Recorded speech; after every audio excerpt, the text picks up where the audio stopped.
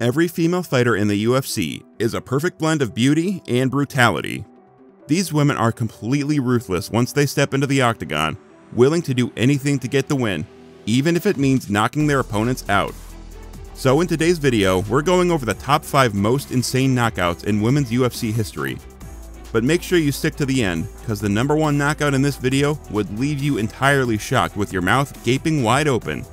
Trust us when we say you aren't going to see that one coming.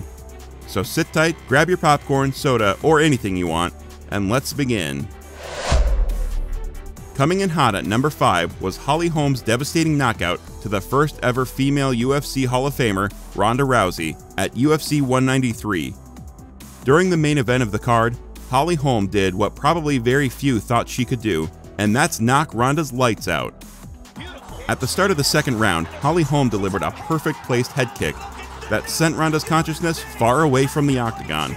And as a follow up, Holly went to the ground to seal the deal with upper body punches to Ronda, winning the UFC Women's Bantamweight title in the process and becoming the first woman to ever defeat Ronda Rousey in MMA. And the reason why this knockout was so shocking is that before that fight, Ronda Rousey had been armbarring her way to victory after victory after victory, getting six good title defenses in the process. But Holly fought the perfect fight, starting what eventually became the beginning of the end of Ronda's MMA career. And even though Holly literally lost the title less than four months later to Miesha Tate, this knockout still stands as one of those UFC finishes we just can't believe actually happened. The next knockout on our list featured two of the most brutal and feared female MMA fighters of all time, Amanda Nunes and Cris Cyborg. These women are like the Ronaldo and Messi of MMA, believe it or not, but at UFC 232, Amanda Nunes showed the world she was the GOAT and probably the best female fighter we'll ever get to see in the UFC. On the other hand, Cris Cyborg had knocked out her first four out of five opponents in the UFC, winning the UFC Women's Featherweight title in the process.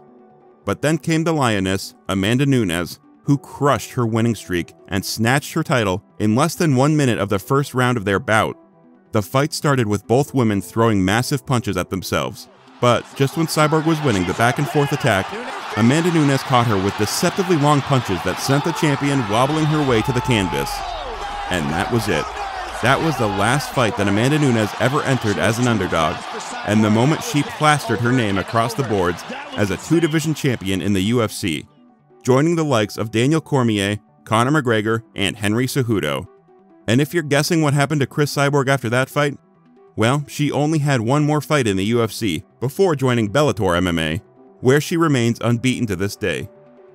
But hey, let's roll back the tapes to UFC 207 when Amanda Nunes knocked out Ronda Rousey in a UFC Women's Bantamweight title fight. Like after Ronda lost the belt to Holly Holm and Holly also lost the belt to Miesha Tate, Amanda Nunes defeated Tate to become the new champion of the women's bantamweight division. But out of nowhere, Ronda Rousey wanted to make the biggest comeback in the history of the UFC as a whole. She wanted to come back and conquer the division she built, the division she reigned as champion for almost three years, the division that opened the door for fighters like Julianna Peña, Amanda Nunes, and Holly Holm to showcase their skill sets in the UFC. But sadly, this comeback ended up on the wrong side of history. After the massive build up to the fight, Amanda Nunes delivered a complete onslaught to Ronda by breaking through her defense piece by piece, taking her to another dimension that left Ronda utterly puzzled inside the octagon.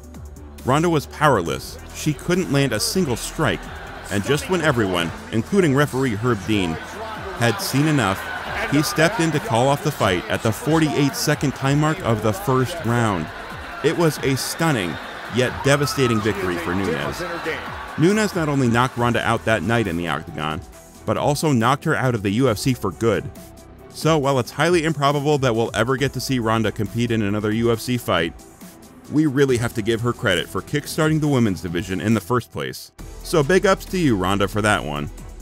Now, the number two knockout on our list comes all the way from the UFC strawweight division in a title fight between Jessica Andrade and Rose Namajunas. At UFC 237, in Thug Rose's second title defense of the UFC Women's Strawweight title, she faced probably one of her toughest opponents to date, Jessica Andrade. In the first round, Thug Rose was dishing out some stingy punches to Andrade's face, opening up a wound in her left eye area. And as the round progressed, it seemed pretty clear that Namajunas was on the path to getting another title defense in the bag, until somewhere in the middle of the second round, Andrade attempted a move straight out of a Mortal Kombat video game. Like, we really want you to understand that Andrade made it look so sleek and smooth. She took Namajunas to a whole new level of combat, and then kabam, she lifted Thug Rose up and smashed her on the canvas, with Rose's head getting most of the impact. Namajunas was out cold, and it was very scary. The entire arena went wild, and and you know what? Just just take a look for yourself. Nope, can't lift there. She'll still get Kimura. Oh! She slammed her right on Even though Rose won the rematch just a year and two months later at UFC 251, this knockout is still one of the worst we've seen in the UFC women's division. However, it's time for the moment we've all been waiting for. The number one most insane knockout in the history of the UFC women's division is Valentina Shevchenko's head kick knockout against Jessica Eye at UFC 238. Okay, forget the Mortal Kombat joke. This one looked like Valentina was about to send Jessica Eye to the afterlife with how brutal the kick was. Like people were genuinely scared something bad happened to Jessica Eye. It was so crazy, man. At UFC 238, in Valentina's first title defense of the UFC Women's Flyweight division, she delivered a perfect head kick to Jessica Eye in the first 30 seconds of the second round. Now, you know what? Explaining the kick doesn't really make any sense, so just check it out yourself. The sound of Shevchenko's feet connecting with Jessica's forehead tells the story of how brutal the kick was. But look, the truth is we might never see another female fighter as beautiful and as fierce as Valentina in the UFC again. This woman is a straight up assassin in the octagon. She can knock out anyone and make it seem so easy. But while she's still the UFC Women's Flyweight Champion, we can't help but hope she faces the Lioness Amanda Nunes for the third time to determine who the true GOAT of this era is. So, are you as eager as we are to see Amanda go up against Shevchenko one more time? Let us know in the comments section down below. But wait, before you go, kindly check out either of these videos shown on your screen. Click on any one you like, and we'll see you there. Come on, don't kill the momentum here. Click on it, and let's freaking go!